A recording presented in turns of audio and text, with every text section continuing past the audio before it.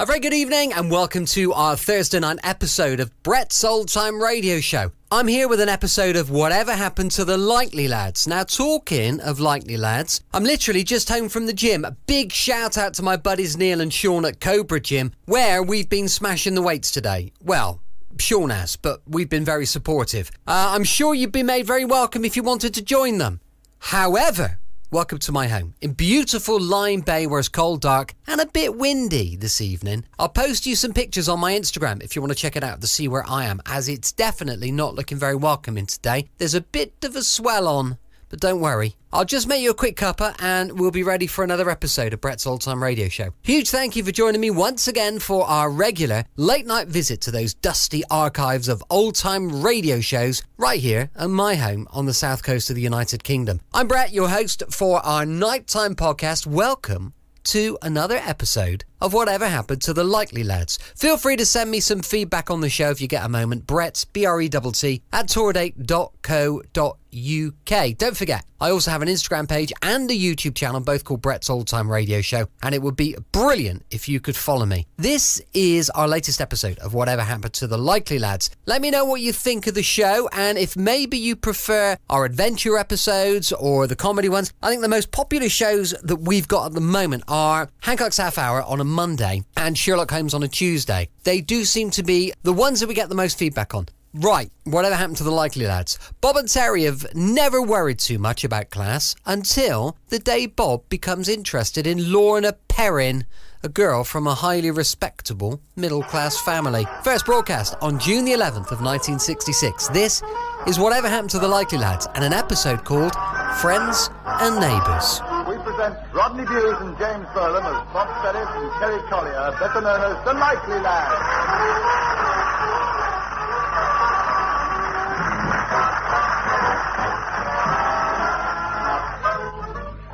Very often there's a great affection between the young and the very old, and so it is between Terry and his granddad. When old Mr. Potts is on one of his rare visits, where else would they be on a Friday night but in the pub?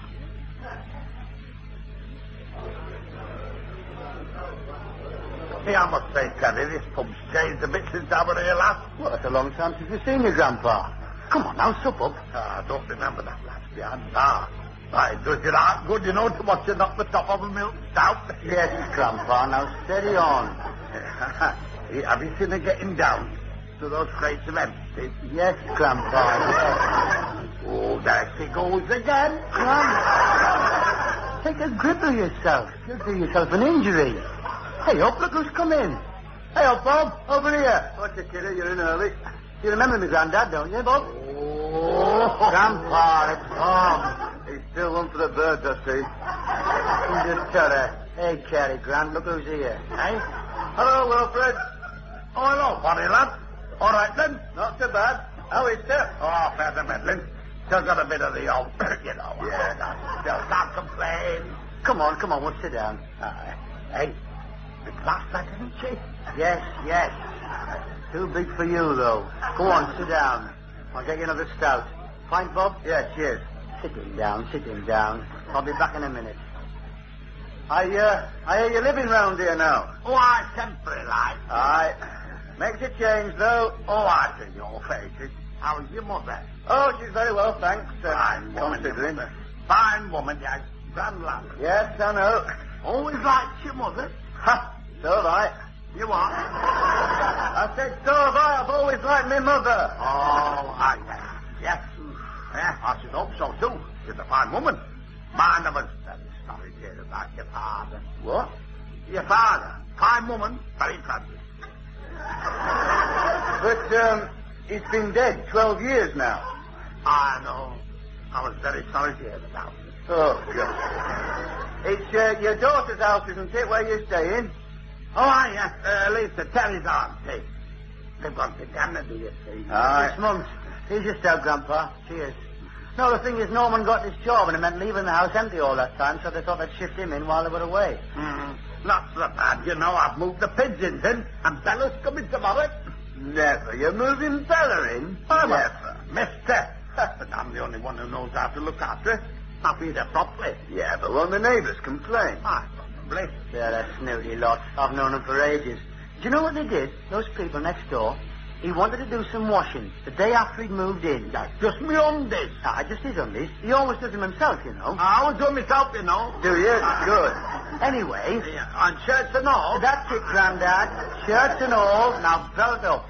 Anyway, he does them and he hangs them out to dry in the front garden because that's where the sun is, you see. That's where the sun was. Yeah. Cheers. There's Terry. Cheers.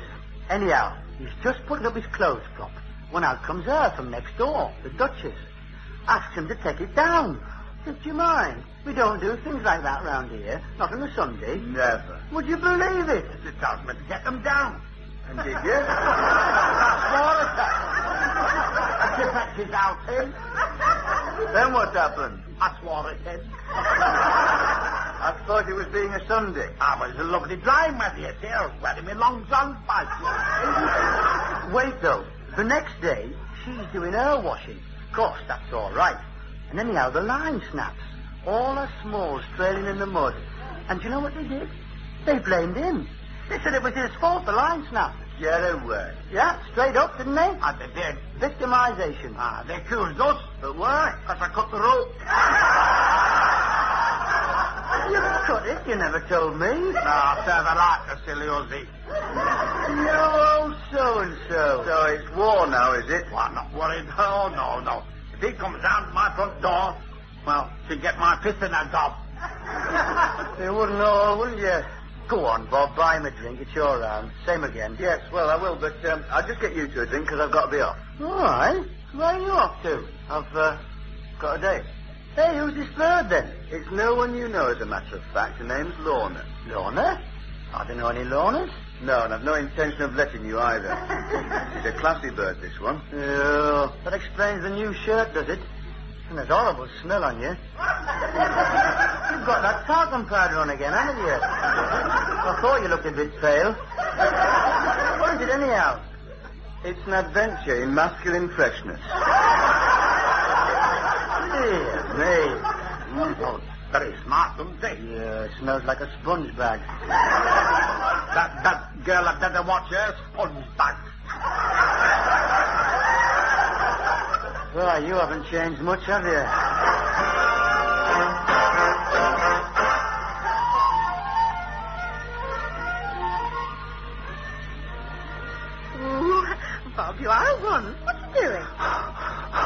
Careful, Lorna, love, you're on me. You're on me. Oh, Oh.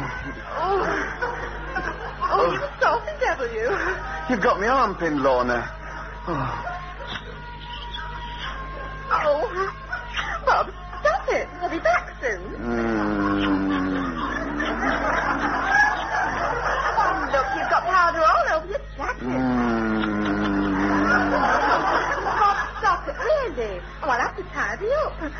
Straighten your tie. You're a bit rough, Bob. Untamed. Come on, though. Help us tidy up.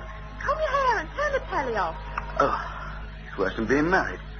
Hey, can I have another sherry? No, you can't. They're bound to notice the bottle's gone down as it is. Anyhow, one's quiet enough. Yeah, you should see me after two sherries. I got out of my mind. Quick, here they come. Do I look all right? Yeah. Hey, get your shoes on. But I, I can't find... Where, where's, the, where's the new shoe? It must be under the chair. I can't find it. Where is it?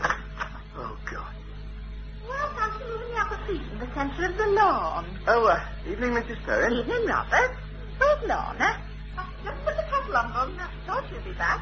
Ah, what have you two been doing with yourselves? Playing Watching cards. television. Watching television and playing cards. You had a nice night? Oh, it was. They've got a lovely home, haven't they, Martin? Oh, you're doing very well now, you know. You're up the second branch. Did you see come dancing on television? Um, yes, we did. Oh, we were sorry to miss that. Who won then? Did we? Um, yes, yes, we did. Uh, I think we did. Oh, good. They'll be in the semi-final now, then. How did the formation team do, Bob? Oh, uh, I'm not sure. Just give me your coat, love. I'll hang it up. Did you miss the formation? Oh, well, uh, we were playing cards at the time. Oh, you were silly, no. They moved together so beautifully. Of course you know, Robert. It wasn't so long ago that Mr. Perrin and I were dancing in that competition. Yes, I know. We were Latin American mainly, but later on old time. That cup there was for the military two-step. Of course, Mr. Perrin did one of the best turns in the business. Oh, really? Bob doesn't want to listen to you going on about dancing. No, no, it's very interesting. Uh, I like ballroom dancing. Well, we don't do so much now. Not since Mr. Perrin's arm. He can't, uh, you know, what he's doing. Hello. Someone's left a shoe here. Oh, yes, that's mine. Um, it just fell off. Not very good laces on those shoes. hey, I'm full of Mary's trifle. How's it been? Was there any trouble from next door, Lorna? No, without. At least I think so. All the lights have been off. Well, that means he's out drinking. He'll be back soon. Did Lorna tell you, Robert? We had this couple next door. Very nice they were. Uh, well, he's done very well for himself, and she, uh, well, she's a bit. But anyway, they were very nice. And then suddenly they went away, just temporarily. But in the meantime, they'd given the house to her father. Well, I'd always thought she was a little bit, you know, common. But I had no idea. He was always spitting and wearing braces. Really? And leaving the top button of his trousers undone. Oh, God, I've lost mine. We knew there'd be trouble the moment he moved in. Oh, yes. The very first night he came round here three times to borrow things. And you could tell the sort of person he was from what he wanted. A bottle opener, a jar of pickles, and a corn plaster. I mean, we just don't have those kind of things. Of course, you can understand our worry, Bob, can't you? I mean, hello, what's this button doing here? no, the, the trouble is, he'd devalue the whole district in no time. Oh, yes, I can see. Yes, I can imagine. He's got pigeons. Keeps them in the shed. But of course, they're always over our side. They do all their business over Mr. Perrin's azaleas. It's not right. Sunday morning was the last straw. Oh, yes, Sunday morning was the last straw. Do you know, Robert? I know you'll find this hard to believe. On Sunday, he does his washing and hangs it up in the front garden. What? No, Lorna. I can see that Bob's as shocked as we were. Can imagine I just had to go round there. What did he say? Oh, it was most abusive. I couldn't bring myself to repeat it. And do you know, Robert, the very next day...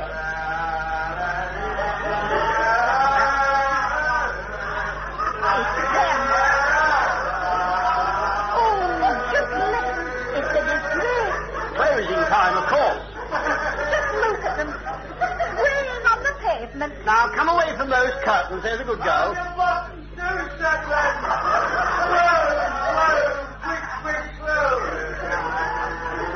Oh, it really is serious. Something will have to be done. That young Rosen, isn't it? Yeah, who is he? Who is that young hoodlum? He's the grandson. Oh, the youngsters of today. A crude lout. That's what he is. Yes, he is.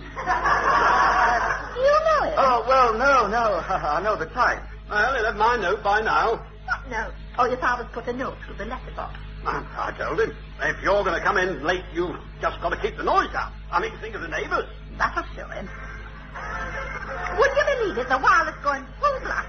I blame the BBC myself. All those late-night pop horses.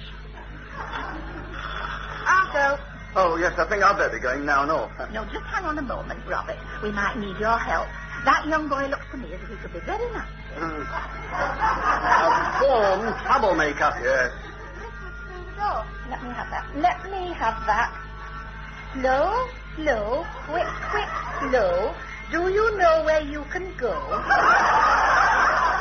oh, this has gone far enough, Martin. You'll have to go round and speak to them. No, you go, Bob. What? Let Bob go, ma'am. Dad's arm. Well, yes. Uh, well, look, I was on my way home anyway. If you like, I'll just pop in and speak to them on my way. Ah, Like. this is very nice of you, too, Bob. I'll get your coat. Oh, incidentally, you must come to tea tomorrow, Robert. Come early if it's a nice day and we can sit in the garden. Thanks, that'll be lovely. Oh, ta. Right, thank you, Lorna. Well, uh, good night then. Good night and, and thank you. Uh, just see you out, Bob. Come here. Good luck.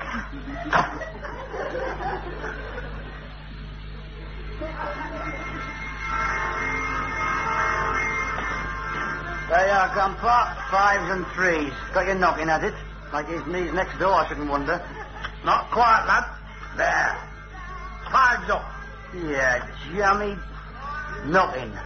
And double fives again. Yeah, you old... Now, you keep that noise down. What's that? It's coming from the letterbox. Yeah, keep that noise down. Guys, even try to get some sleep. that water stand or pull please.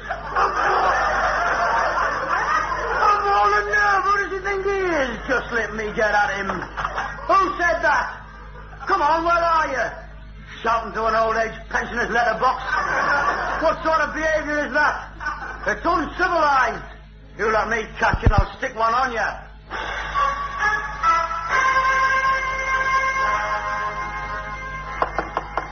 Oh, who's that? Just when I've got my pants off.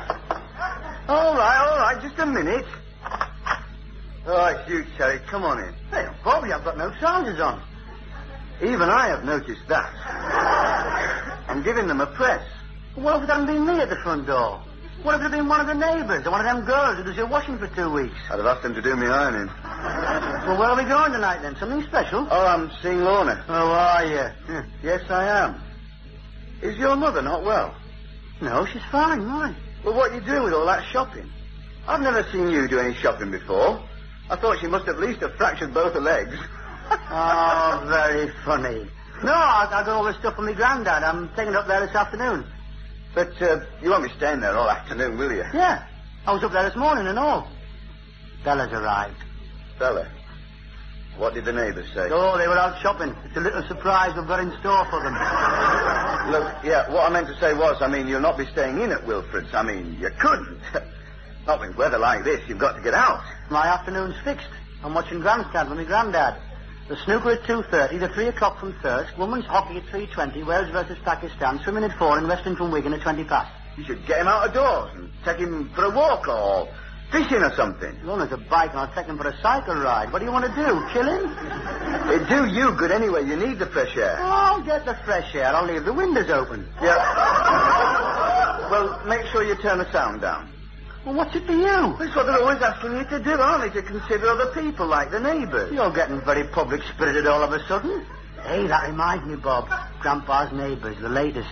We had another Barney last night. Oh, yes? And he came round, shouting through the letterbox.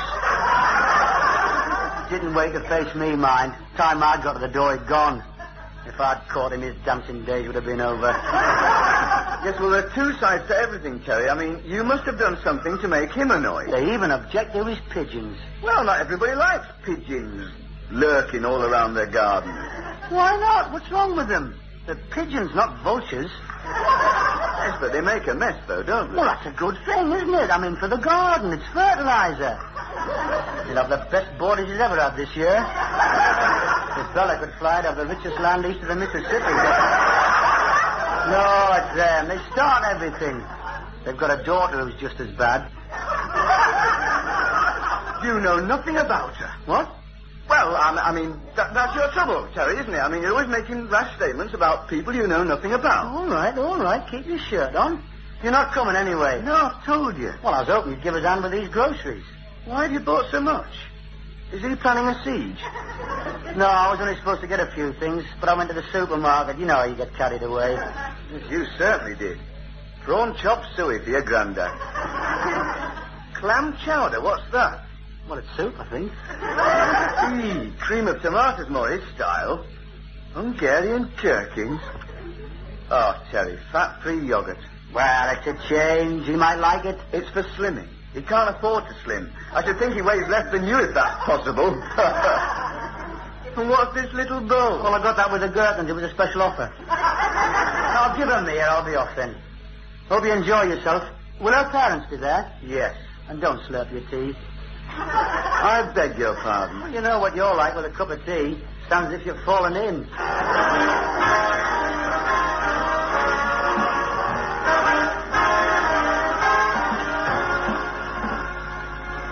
Now, uh, Bella settled in nicely. She eaten all her dinner. Come on, come on. Oh, what's the matter with this telly? Maybe done to the picture. Would you believe it? They're beginning to panic me now. I know, I know, but look at it. It's all haywire. You- Just when we really need it on. Have you tried the horizontal thing? I've tried every rotten thing.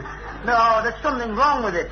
And I've got ten bob on this race. I've got half this week's pension. Oh. Never done this before. Hasn't anyone else got a set? I don't know anyone else. Only the parents. Well, we could ask them. Only be for five minutes. Not much to ask. But never let you. Well, they can't object to five minutes. I mean, it's an emergency, isn't it? Anyhow, it's a chance to settle things up. You can't just go on forever warring with your neighbours, tooth for a tooth and all that junk. Someone's got to make the first move. If I go round next door, I'm giving them an opportunity to make amends. I'm quite willing. I don't see why they shouldn't be. Oh, praise yourself. Hang on, I won't be long.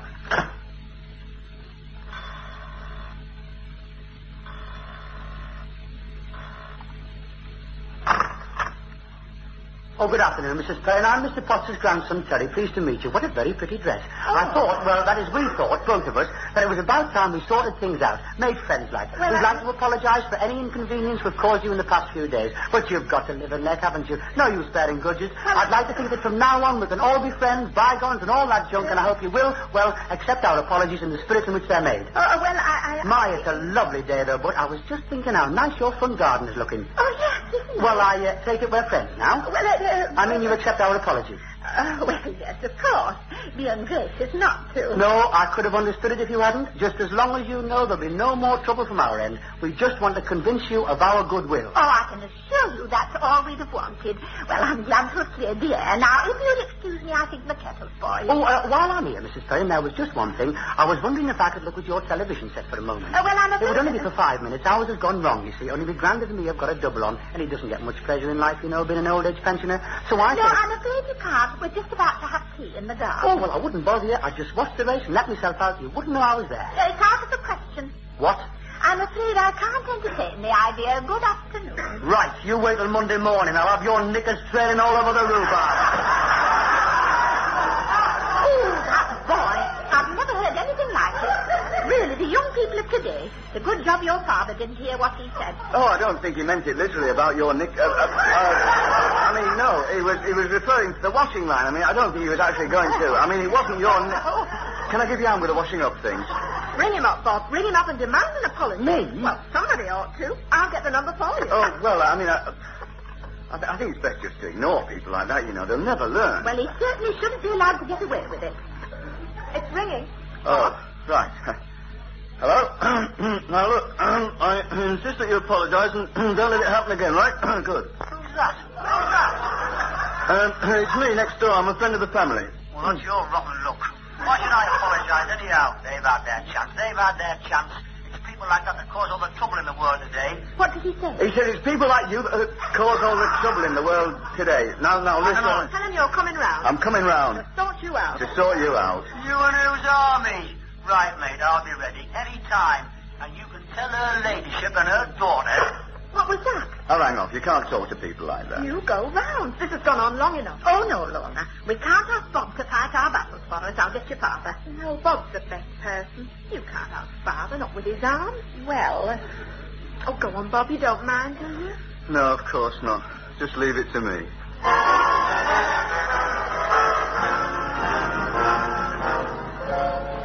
What about that then, Grandad, eh? Coming round, is he? Good. Who is it that lets on the fella? I don't know. Probably one of the formation dancers. Oh, he'll be all right then. Oh, don't you worry. Any trouble from him and he'll get my boot right up his busting over. I'll set Bella on him. Aye. Hey, there he is. Now, I'll get it. Now, I'll get it. This I must say. Hey, come in, Bobby, lad. Come in, come in. Hey, uh, hey. Look who's here, Terry. Hello, kidder. Hey, you're just in time. We've got this twit coming round from next door. That wasn't very nice what you just said about Lorna. what? Or her mother. I am that twit from next door. You? Speaking. You're not with that.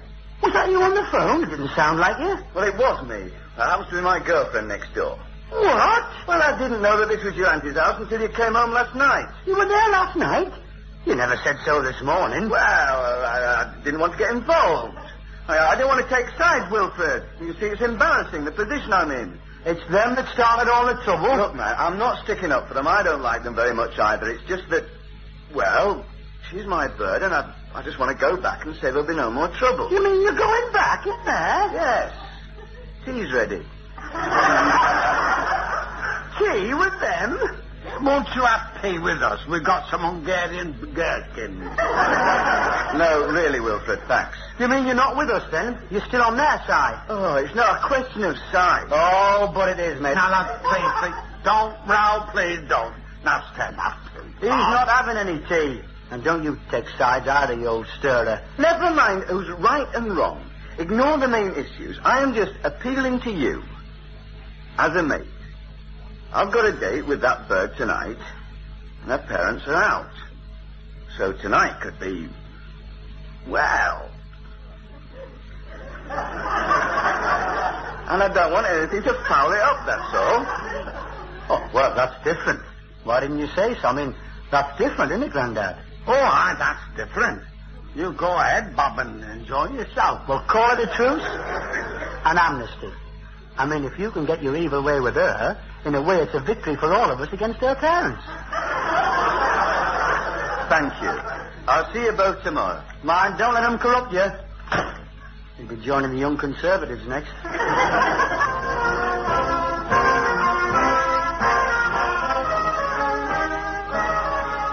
Oh, Bob, you're back. What did he say? There'll be no more trouble. Just let's leave it at that. Oh, Bob, how can I ever thank you? Well, uh, Oh, I'm very grateful, Robert. You handled it very well, didn't he, Martin? I'm only sorry I didn't know what was going on. oh well, uh, it's all taken care of. We can forget about it now. Ah, set tea in the garden. Shall we go through?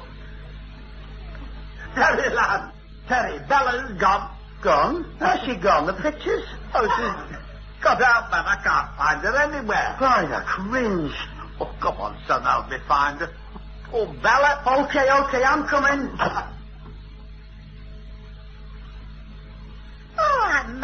Must there's nothing nicer than afternoon tea in your own garden on a warm summer's afternoon. Oh, and I must say, Martin, the garden looks a treat. Do have a sandwich, Robert. These are chopped eggs, and those are salmon and cucumber. Try one of Mrs. Perrin's sausage rolls while they're still warm. Oh, yes, thank you, I will. Very pleasant to sit out in the open, isn't it? You must come and help me with a spot of gardening, too. Thanks very much. Lorna, pass your father the sugar, will you? Oh, Robert, you've rendered us an invaluable service. I should think we've heard the last of those ruffians next door. What was that? Hey? Did you leave the gas on? Oh, I don't think so. Oh, no, I couldn't have done. There it goes again. It seems to come from behind that tree. Oh, well, look, um, I'll, uh, I'll just go and see. I'm sure it's nothing, Bob. Yes, well, I'll, I'll just check. Uh, I sh- shan't be a minute. Hey, Bob. Here, man. What the hell's the matter with you? Are you trying to wreck everything? I've Cracked it here, man. I'm sorry, kidder. Bella's escaped. What? Yeah, I thought I'd better warn you. Thanks a bunch. Are you all right, Bob? Oh, yes, fine. Uh, it was nothing really. Uh, just one of nature's strange little quirks. So we were saying, we were saying, wouldn't it be nice if we all went dancing together? It'd be such fun. Well, I don't know if Bob would like to. Oh, I'm sure he would if we got up a nice crowd and went to the assembly room. I wonder if we should go indoors. Indoors, why? Uh, well, I mean, it looks a bit cloudy and it might rain later. You don't want to get caught in it. Oh, it'll not rain today. Anyway, the garden could do with it. Oh, well, you know, I, I feel the cold. I, I've got a bit of a chest. Oh, I thought you liked the garden. oh, yes, well, I do, but, um, didn't you want to watch Doctor Who? Whatever's the matter with you, Bob? Oh, nothing. I was just thinking of other people and... Oh, no, Bella. Who? Oh, come on now, Robert. Eat up those sandwiches. Do you like ham? Sometimes. Oh, God. Uh, what? Good heavens! Ah! You pig! Bella, get back, Bella, back. Get out, get out. Oh, my arm. Oh, the table, man, the table. You're all right, Terry. I've got them. I've got them. Oh, thank God for that. Ooh, what a mess. I suppose you're satisfied now. Hey? You rotten pig.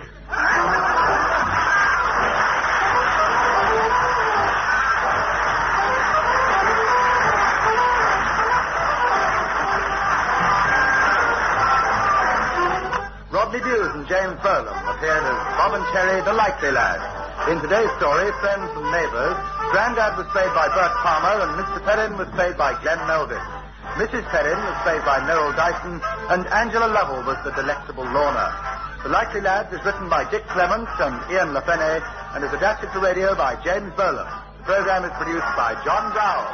Welcome back. I hope you enjoyed our latest episode of Whatever Happened to the Likely Lads. We'll be bringing you another episode next week, and don't forget, we'll be back for Steptoe and Son tomorrow night, going live at 5 o'clock p.m. GMT. So make sure you're ready to check it out. You can email me on brett at tourdate.co.uk, and I would love to know your thoughts on the show. Thanks for listening. I'll be with you seven days a week, each and every week. And I'll see you next time on Brett's Old Time Radio Show. Love you. Bye.